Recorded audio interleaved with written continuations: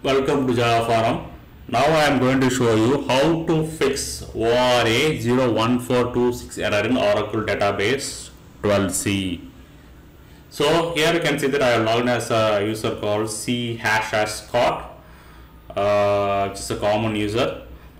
So uh, here you can see that I have copy pasted one query uh, to create the sequence. So min value 1, max value, it's, uh, showing some unlimited value.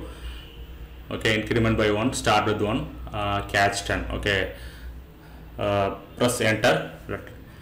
See, you can see that ORA 01426 numeric overflow error is got thrown, which means that I assign the value uh, which is very very huge okay so check the oracle documentation uh, what is the limit when you create the sequence with max value that is max value limit okay so now i am create uh, max value element with a decent value.